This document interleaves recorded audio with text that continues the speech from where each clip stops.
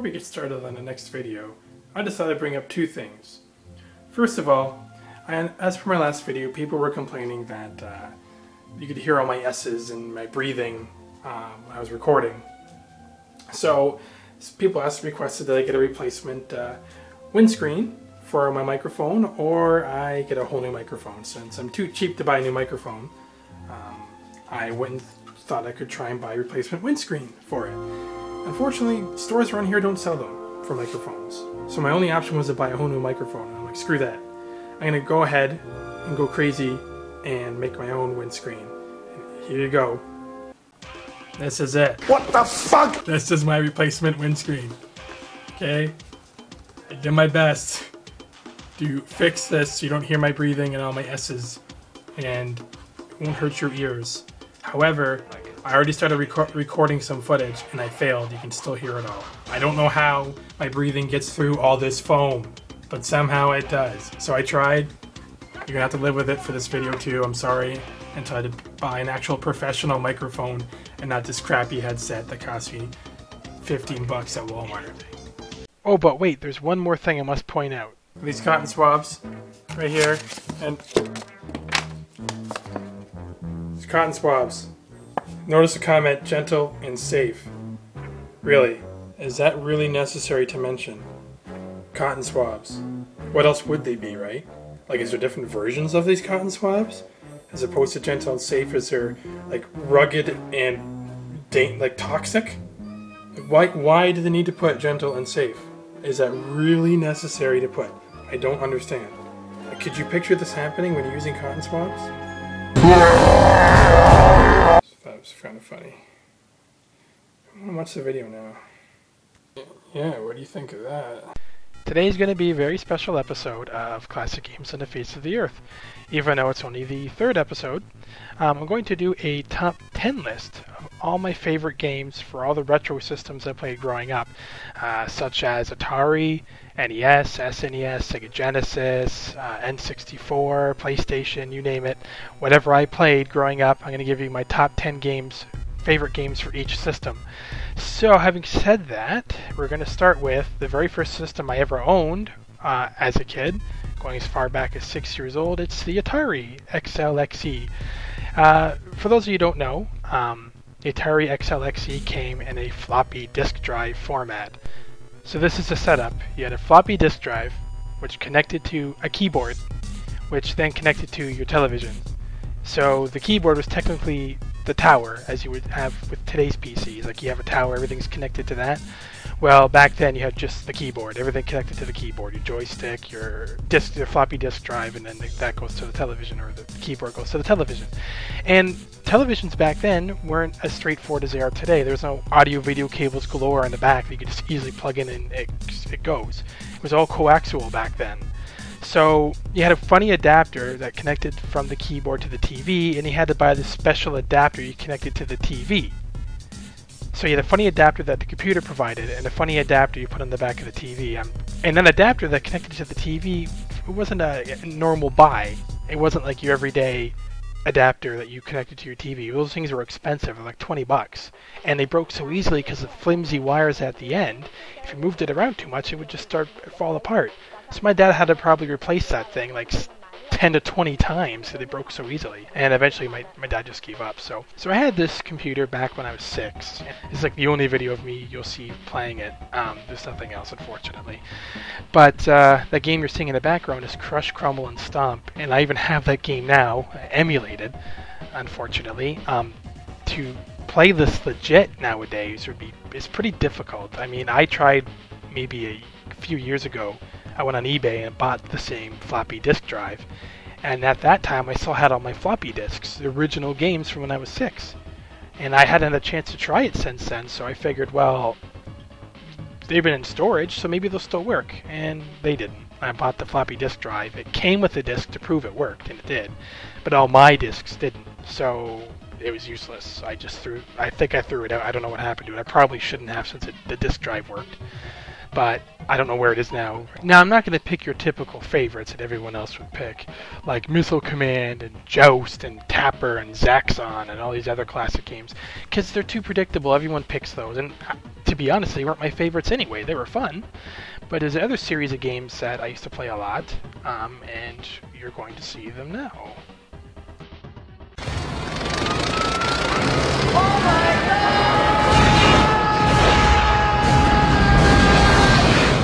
So I'm going to try and do these in order from like starting at number 10 going down to number 1.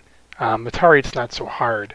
So the first game I chose on my list is more of a multiplayer based game. I think it was up to like six players, if I remember correctly. Because my brother and all his friends used to get together quite a bit. And we played this back when we were kids, and it was fun. It's called TGIF. Thank God it's Friday, or thank goodness you can't say God anymore. So thank goodness it's Friday is what it's called, and uh, it's primarily a, almost like a text-based game, as you can see. So the objective of this game is pretty simple. You set a dollar amount at the start of the game, whether it be like $200,000 or 20,000 I think it is. Set a goal, and whoever gets to that goal first wins. Now, in order to do that, you have to go through all the days of the week, and so Monday through Sunday, and it's an investment day. Now, I should say each day is randomly generated, so when you come to the day screen where it shows an arrow pointing around randomly like that, you don't get to pick what day you want. You just gotta press the fire button and automatically pick the day for you, so it's always randomized. Um, of course, because if you get to pick your day, it'd be way too easy, right? And in each day you land on, a different thing will happen. Uh, for example, if you land on Sunday, um, it'd be a, a, skip return. Nothing happens. You just you don't lose anything. You don't gain anything. You just miss your turn, which kind of sucks.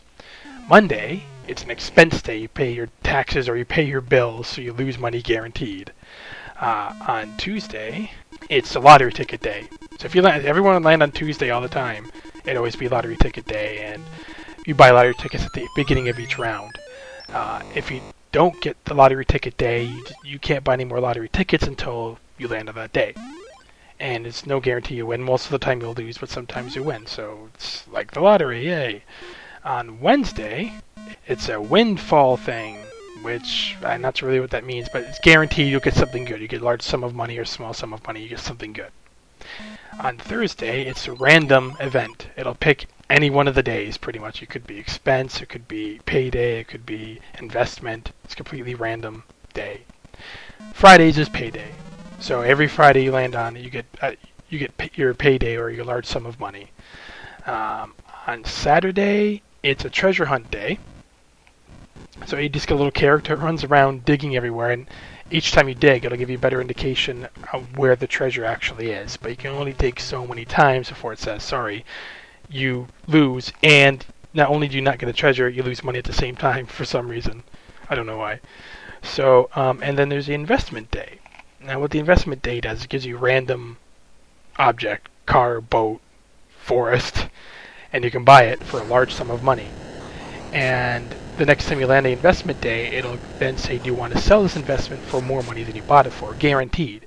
However, if you say no, you can keep hanging on to it, so each time you land on it, you get more and more money.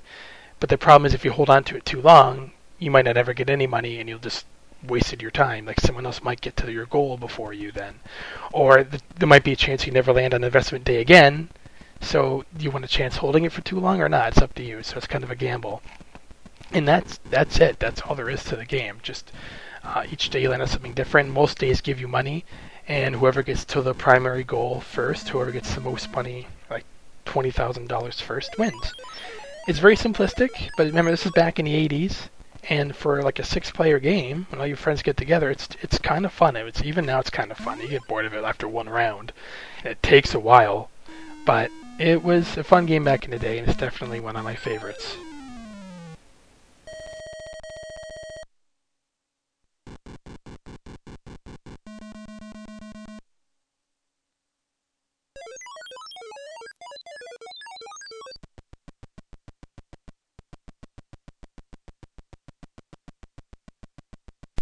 Now this next game you've seen me review somewhere before. I think it was just a quick intro to another video called New York City the Big Apple or NYC the Big Apple. And this game I remember playing a lot as a kid too. But it's funny because some of these games I play now, and I'm like, why do they ever like this as a kid? I don't get it. This is one of those games, but I remember vividly playing this a lot. Now, the objective of this game, I'm really not sure. Um, I, I, even when I was a kid, I, I didn't, I wasn't really sure. I, I remember I had a better grasp on the game back then, but now I don't know. I guess I could have looked it up or looked at a review or a tutorial a walkthrough somewhere, but I couldn't be bothered. So the game starts off. You start in the car and you drive into New York City. And right away you'll notice that uh, all you hear is car horns and people honking everywhere. And frequently throughout driving, throughout the day, there's massive amounts of car accidents and uh, reckless drivers on the road who purposely go to the way to smash you up. I'm not sure if this was the designer's joke to uh, how he portrayed New York City, but um, to me it's like saying this is Toronto because I'm closer to that's the biggest city closest to me right now, I guess, next to Niagara Falls, and that's what Toronto feels like to me. This massive car accidents everywhere and people riding up your butt and trying to wipe you off the road. Toronto's not bad like that at all. I'm just a jerk. So, but you start off in a car driving around New York City, and right away, if you hold the fire button down, you'll notice it'll tell you what to do first, like go to the mart or go to go to the automat, where apparently you buy a lunch. But playing it now, this is where I got stuck. I first went to the mart, as you'll see here, and it looks like a big mess. There's a bunch of random guys walking around in like a maze you have to go through and you had to pick up these pretzel pieces and put them in each corner. Uh, I started to do the first corner, but then it said randomly, it's lunchtime. So I'm like, do I stop what I'm doing and go for lunch? I That's what I did. So I went to the automat, and there was this dude freaking out in the middle, and you have to go to the top and buy burgers, which walk around, and you have to compete with the guy and try and get to the burgers before he does. But I went on endlessly, multiple games, eating the burgers, and I could never progress. Like lunchtime would never end, and the automat thing would never go away. So I'm like, okay, what else is there to do? Well, if you look at the top, you'll see site, and there's a different little uh, initials there, like UN or WT or something. Well, each time that site comes up, whatever site it shows there, say WT, you go to the WT building because all these there's all these buildings there with those initials, and there's a different puzzle in each one. Now I'm guessing if you do them all in order or do them all as it says to, you beat the game, but I never played that long to find out. I remember as a kid, I I think I did beat it at least once, but I honestly can't forget. And I played for like an hour and a half this night. I took the footage, and I couldn't get anywhere. Could never beat the automat. And I could never find other buildings before I got either super car collision or that red car that purposely kept running me over. And each time you go to the hospital, you lose a ton of money. And each time you lose your car, like if you get hit by another car, it gets towed and you have to pay an impound fee. And it's crazy. It's way too hard, I figured. So, but still, it was kind of fun to give a try. And as a kid, I played it nonstop. So, if you ever pick up an emulator and find this ROM, give it a try and let me know what you think. I, I still consider it a classic even today.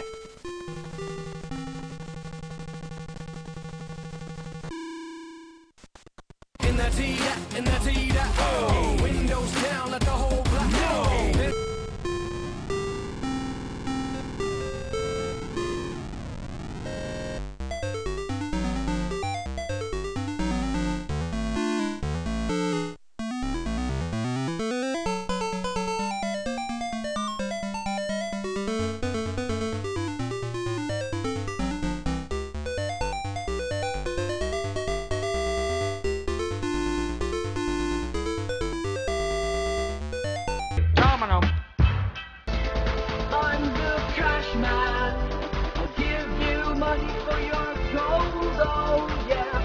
Oh, yeah! Oh yeah! I'm Cashman! Oh yeah!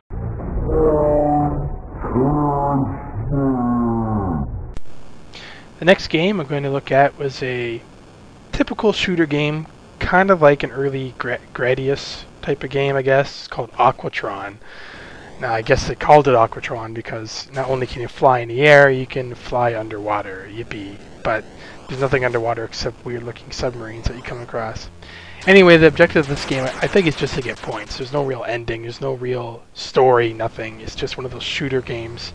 You just try to stay alive as long as you can, get to the highest level possible, and get a top score. So, um, I just remember playing this game to death, and there's not much to it except in each stage, you'll see there's a little map on the bottom, first of all, those pinks, pink or purple, colorblind, uh, rectangles will tell you where the enemies are. And if they're too far away, you can always go to the topmost part of the screen and go into like a hyperdrive super speed, which is kind of neat. Otherwise, you can fly normally. It takes a while. And each time you get to the enemies, you just got to kill them all on the screen. And easier said than done, because as the levels progress, they, there could be anything from tons of fighters that purposely collide into you, or super mines that don't blow up, and before I get a chance to even think, it just runs into you and destroys you in one hit. It's like, I don't even know that's fair. So in each time you kill one of these enemies, they'll drop like a little colorful square with a parachute on it, and if that gets to the water, it turns into a submarine. So you have to kill it. And it's better to catch, if you can actually capture those parachuted square things before they get to the water, which is a bonus point.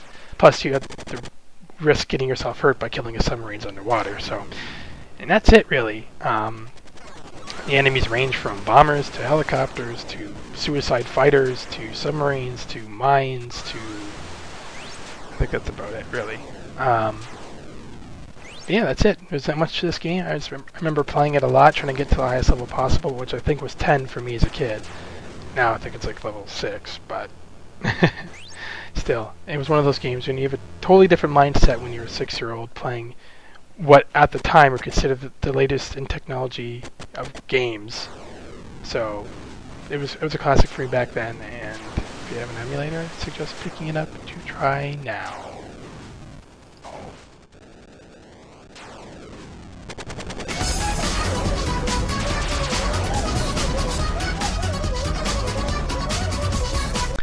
Here's another game I re remember vividly. I also remember being a lot better at it back when I was a kid as I am now, but it's called Montezuma's Revenge. And Montezuma's Revenge actually means something, but back when I was a kid I didn't really care. I just thought it was you're I thought you were a big fat lady with a sombrero that ran through a weird dungeon. And actually you're supposed to be a guy, but I thought you were a big fat woman. That's what I thought it when I was a kid. So anyways, you're a big fat guy wearing a sombrero and you're in this weird dungeon, and it's just one of those platformer games back in the day. And it's really freaking hard. I remember when I was a kid, I beat this game, and just to prove I wasn't making that up, to myself, I mean, prove it to myself, I went and looked up uh, speed runs online, and when I saw the ending of the game, I'm like, oh yeah, I did beat this when I was a kid. I remember this part. But I played this game for over an, an hour, which isn't much, but and I could barely get anywhere. The farthest I got was this, to this pitch black dungeon area, and I just eventually got killed by a skull or fell in the lava, and that was it. But it was a fun platformer game back in the day, and it's funny because back then, for the Atari, you only had a, a paddle. It was like a a joystick with one fire button on it, and it was the joystick was broken half the time. Like you had to keep replacing that too, so the controls would stick or they wouldn't work. And I'm like, with a when I was six and a crappy controller, I beat this game how to lose all the all my talent? How to lose all my skill? You think it'd be better at this age, but not so much. Um, another thing that I find hilarious about this game is the way you die. You just shrivel up into this compressed ball with your legs sticking out. Um, can't help but laugh every time I see that. I guess I should say how you kill the enemies is you have to grab a dagger, and each time you touch an enemy when you have a dagger, it dies instantly and but you lose the dagger. That's the only way you can kill them. You can't jump on them like Super Mario Brothers or dare touch them because you'll die. As you can see, I die every freaking five seconds playing this game. Oh god, it was hard. So, so that's it. Big fat sombrero guy running around in the dungeon. Montezuma's Revenge. Hold on a second. There's a leopard feeding on an impala out on my deck. Nope just Chuck Testa with another realistic mount.